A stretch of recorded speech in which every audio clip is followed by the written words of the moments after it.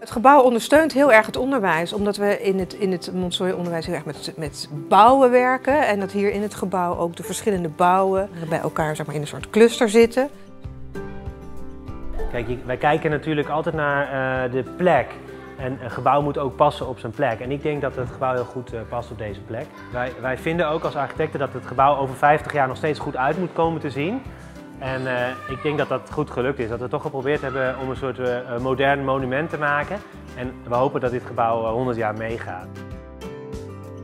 Het gegeven dat het zo licht, uh, zo'n licht gebouw is, dat, dat je veel doorkijkjes hebt, maakt dat je symboliseert dat we een open gemeenschap zijn die eigenlijk in directe relatie met de omgeving staat.